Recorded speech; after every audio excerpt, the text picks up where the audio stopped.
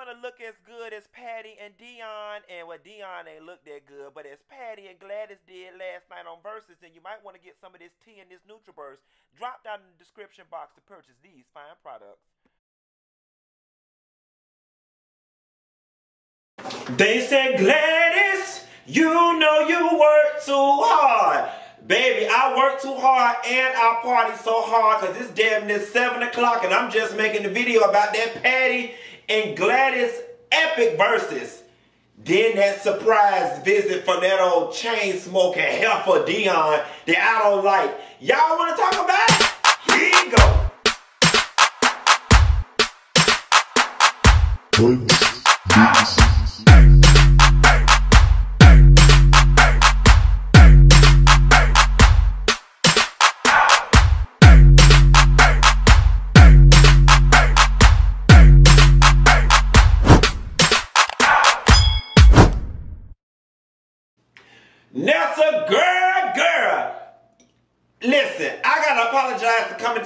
So late, but last night's Verzuz with Patti LaBelle and Gladys Knight was one for the culture. They said a party ain't a party unless it's ran all through and but I say a party ain't a party unless the police come and knock on your door. Because that's what the hell they did early this morning from the spirit and the energy that had us in here so festive, like making so much noise.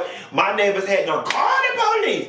They better not let me figure out which one of they motherfucking asses did it. Because I'm a get him hell. I think it's this new bitch that don't move next door to me. She don't understand the culture.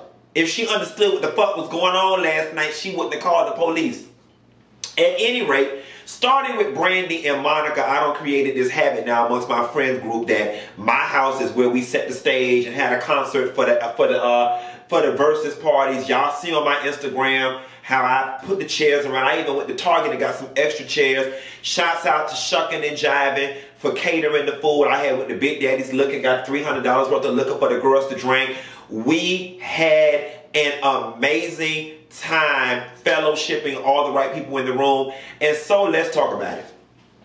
Now listen y'all, it could just be my lack of exposure or whatever the case may be, but when the news dropped that Patti LaBelle and Gladys Knight were going to do a Verzuz, I was very interested in it, but I was like, shit, what all is Gladys gonna sing?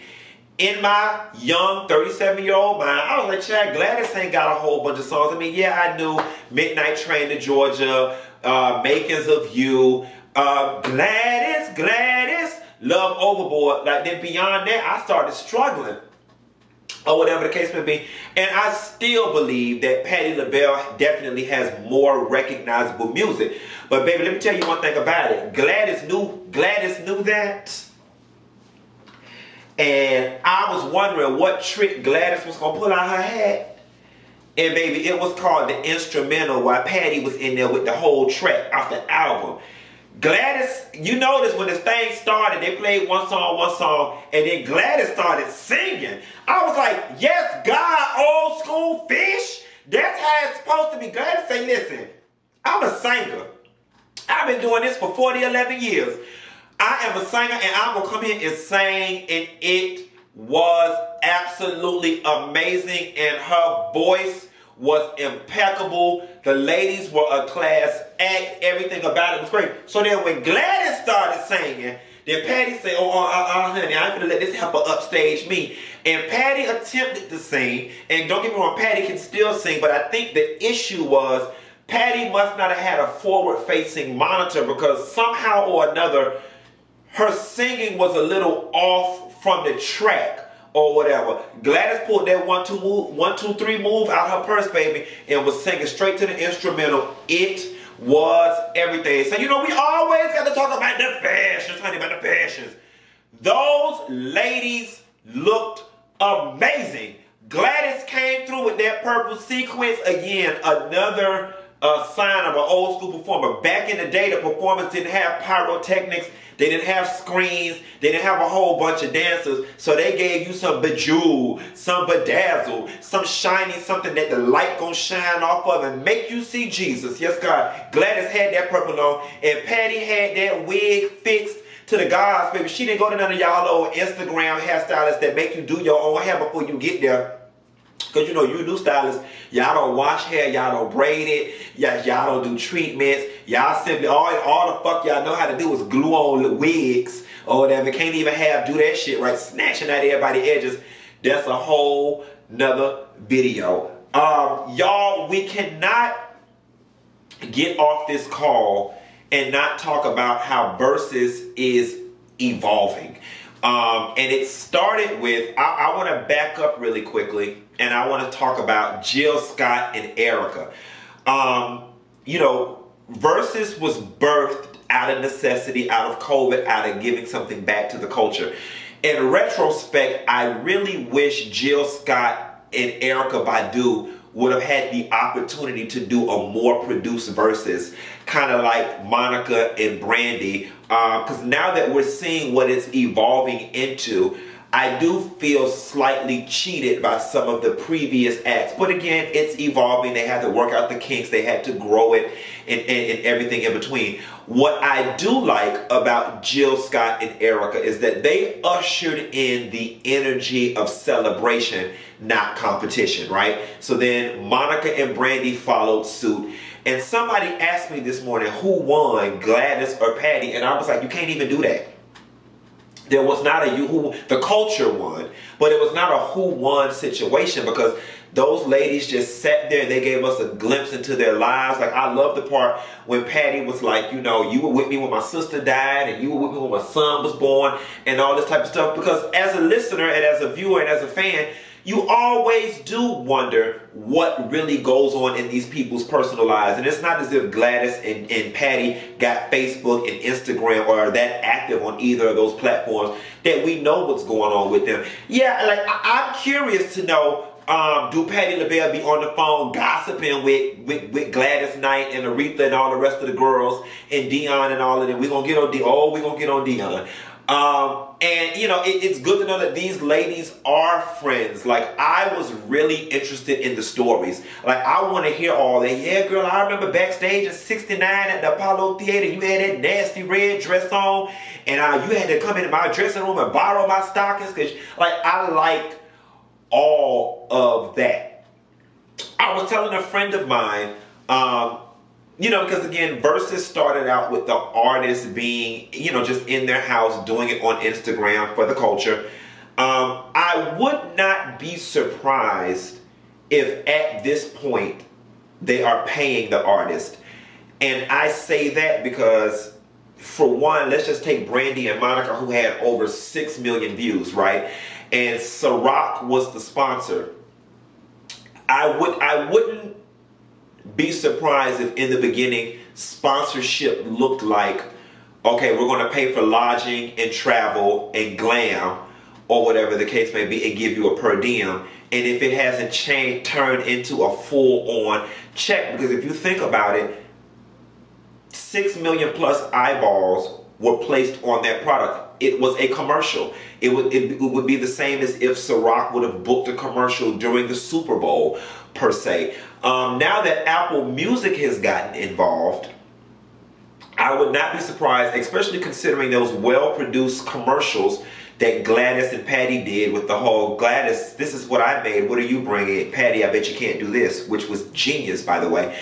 Now that Apple is involved, and they would not get involved if there was not something for them to gain financially, I would not be surprised if they have now found a way to monetize this situation and pass some of those profits on to the fans. Um, what I do like about the whole Apple situation is that it has made it cleaner, more streamlined, and easier to access for some people. Um, before, I was looking at it on Instagram and then um, sending it to the TV. Hence my last party, it was small on the screen. Now with this, I was able to pull it up on my laptop through Apple's, Apple Music, do full screen on my laptop, and then shoot that to the TV. So we were able to watch it as if we were watching it on TV. Um, now, I don't know if Apple runs ads through Apple Music or not, but I'm pretty sure Apple reap some sort of monetary return on this. And then I was thinking, you know, moving forward, because we want to keep this thing free for the fan, yet allow the artist to make money. product placement and simply giving the artist a script would really work in terms of being able to monetize this vehicle but still keep it raw, fresh, and authentic. Could you imagine if they just give Patti and Gladys a script and every, you know, 20 minutes or so, Patti has to say, looking for new car insurance? Well, honey, get your car insurance with Geico. And if you sign up right now, you and your safe driver can get a 20% discount. Use hashtag or use code Verzuz uh, to get your 20% discount. There it is. That's a worked-in commercial advertisement. Geico then gives, you know, $200,000 to Verzuz or Apple or whomever for the product placement, for the shout out, and the artist can then get paid. I definitely see it evolving into a situation like that. And then also, too, what would be cute, I know YouTube has the super chat function um, where people are able to tip you. If they were able to work in a situation where the fans could just put in a dollar, two dollars, or whatever the case may be, that would be a bomb ass way to monetize the situation and for these artists to get paid. With us being in a corona situation right now, honestly and truthfully, it is unrealistic to think that we're going to be going to concerts anytime soon. But Verzuz has set the stage for us to be able to enjoy concerts and for artists to still get paid.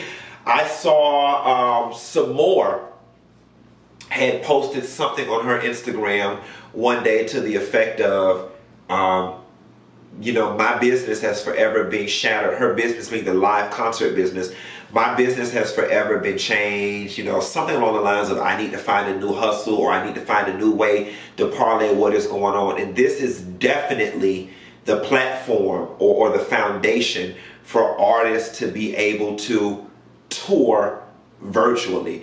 Granted, it may not pay as much as touring around the world and filling out arenas, but a little bit of something is better than a whole lot of nothing. And speaking of a whole, a little bit of something, baby, so towards the end of the Verzuz, we in the house, we fool our line, we full of the good liquor.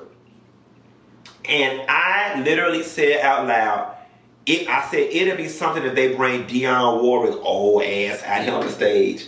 Bitch, less than 60 seconds later, Dionne walks out on the stage and my house erupts in a thunderous just noise. Everybody's like, oh, oh. And I saw some people on Instagram saying, I conjured her up, I spoke to her up, and some people even implied that I must have knew something because I was laying Easter eggs this whole way through.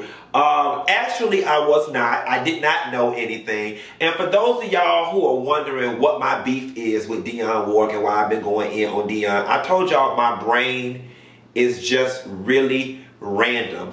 I literally was just on the sofa and I thought back to her um, her uh, appearance on Celebrity Apprentice. And when she told Brandi Glanville, oh, I got your number, huzzy. And watching her on there. And then it sent me down this rabbit hole of watching some of her interviews on YouTube legend or not, and I'm not going to discredit Dionne's body of work and her contribution to music. I don't like her. I think she has a fucked up attitude and a nasty disposition. I don't fucking like her. And that's really what it boils down to. That's where it starts and stops. I don't like her. Um, and so that is why I take delight in cracking jokes on Dionne because I don't like her. So for those of y'all who are wondering, you know, what the beef was, somebody's like, did she snub you at a party? No, I just don't like her. And I'm honest enough to be able to tell y'all, I just don't like her. I can celebrate her work. I can celebrate what she's contributed. I can celebrate and recognize the fact that she is a legend and not like her at the same time. Um, the two, you know, the two can both live in the same house. However, I must say, one for the culture. Her walking out on that stage was fucking epic. I went up. I enjoyed it. I was happy to see her in this context. Yes, God, there was something powerful about all three of those legends on that stage singing That's What Friends Are For. And then y'all thought I was playing. That bitch got on that microphone and say, I fought my way through the rush hour, trying to make it home just for you. Now, is it me? Or they shaded the shit out of Dionne when Dionne was like, all right, so what we doing next? Nothing with your talk singing ass. Okay, you ought to be glad we let your ill-fitted suit wearing ass even come out here and do a quick one-two on our thing, but we're not sharing no stage with you. Bye.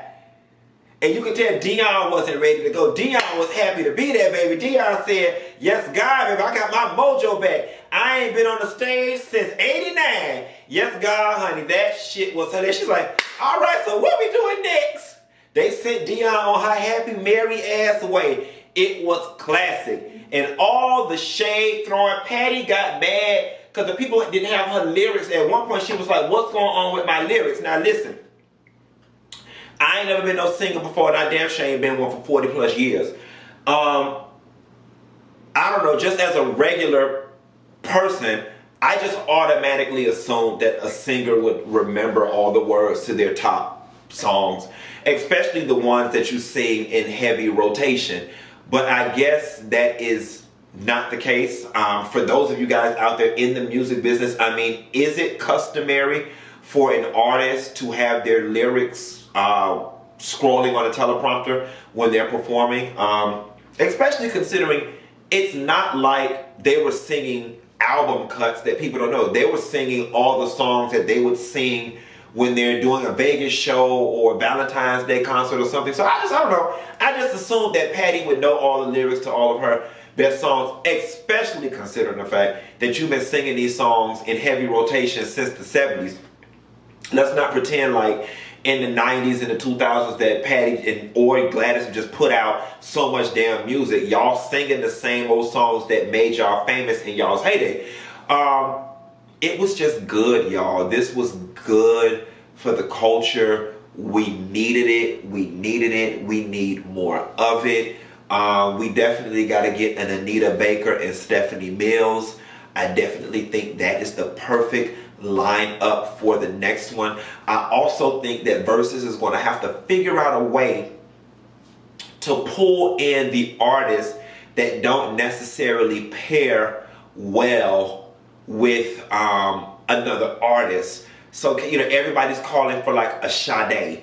And some people were saying Sade and Anita Baker. And it's think, okay, yes, they have a similar register, but they sing two different, total, totally different styles of music. And, and, and, and I don't know that in real life their paths or their careers have crossed at any point. So it's like, how do you pull in a Sade? And I definitely think you would have to, you would have to do like a young and an old. It would just have to be so polar opposite that you don't view it from a comparison perspective. Like, like I don't know. And I'm just saying this. You pull in, uh, you know, uh, uh, Sade and uh, Sade and Jazmine Sullivan. You know what I'm saying? Um, I definitely, and I know it will never happen. It'll never happen because um, Beyonce and Jay Z just do their own thing. Um, everybody keeps saying, who could Beyonce do? I definitely think one for the culture would be Beyonce and Janet Jackson. And just hear me out, because I know y'all, Beyonce can sing, Janet can't sing, all this different stuff. But I'm looking at it from an icon perspective, and realistically, Beyonce is not doing anything that Janet hasn't already accomplished, okay? And that's just true T. Janet was the black icon, global artist of her time, and still currently. Janet has laid the foundation for Beyonce to be everything she is. Like Janet was that global black powerhouse. And to be honest with you, and I tell people this all the time, and it's no shade to our more contemporary artists, but the reasons why I think the Janets and the Michaels and the Madonnas and the people of that era were 10 times better than these current artists because they did it without the power of the internet. Like these were hardcore physical album sales, newspaper and radio advertisements, going from city to city, signing CDs and Sam Goody. You know what I'm saying? And they still managed to get global success without the internet as a marketing vessel. But I would love to see like Janet and Beyonce sit down and for Beyonce to pay homage to Janet because she'd be fucking lying if she didn't say Janet she listened to Janet growing up. Janet inspired her. I would also like for there to be a conversation about with Janet and Beyonce with that whole Super Bowl fiasco because it was reported that after Janet and Justin had that, that Beyonce was caught making a fuss about never ever performing after Janet again. I guess she felt like Janet's performance upstaged, you know, or, or, or overshadowed her performance that year, whatever the case may be, if it's even true. But I would love to see Verzuz move in that type of direction and pull in some of our our big time artists and just just let just let us get some feel good, you know, backstories. Um, maybe even pull in a way for them to take a couple fan questions or audience questions. Um, I you know not super duper produced, but keep it going on. Needless to say, y'all, last night was definitely one for the culture. Um, I'm sure it exposed Patti and Gladys to, to, to a younger audience. You know, it's unfortunate because I don't have the total numbers yet. Maybe y'all do. I know that their numbers are not going to be as high as Brandy and Monica. And that's not because they don't have the interest. It's simply because the majority of their fan base about don't know how to use the internet. You see Patti LaBelle was talking about how she still use a flip phone. And I believe her because if my mom or my daddy were living right now, they would not know how to get on Instagram. They damn sure don't have no Apple Music account or anything of that sort. Uh, Swizz Beatz and Timbaland, y'all are definitely onto something. Patti LaBelle, Dionne Warwick, and Gladys Knight. Thank y'all for y'all contribution and what y'all did last night. It just was a feel-good time. One for the culture. Everybody who was at my party enjoyed the party. Um, and y'all, I might find a way, and y'all drop in the comments and let me know what y'all think. At the next Verzuz party, people kept asking me, was I going to stream it?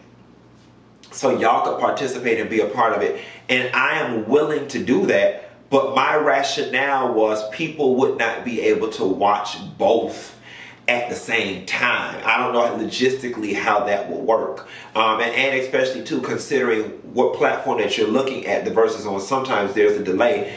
Um, so, you know, if that's something that y'all would be interested in, please let me know in the comments. Um, and now I'm gonna get in here and watch this Tamron Hall stuff so I can come to y'all with a comprehensive uh, video about this Andrew Gillum coming out, this bisexual channel, and because uh, I had already told y'all that, because I knew that girl from her, for her works back in college. At any rate, be sure to like and subscribe to my channel, and I'll call y'all later. Bye. Oh, and I watched the season finale of P Valley. I might give y'all that too tonight.